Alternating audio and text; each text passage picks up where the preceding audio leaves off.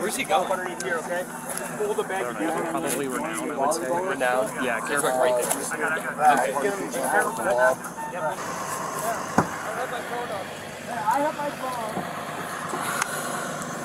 Is that they said they're going to Renown? I believe that's what they said.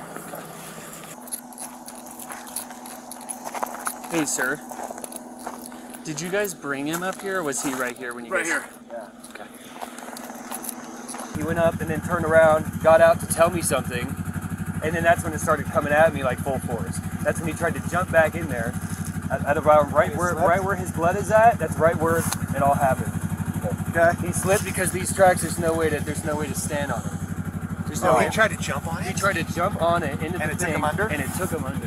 And it went over I him? didn't physically see it. Yes, I didn't physically see it because this huge bar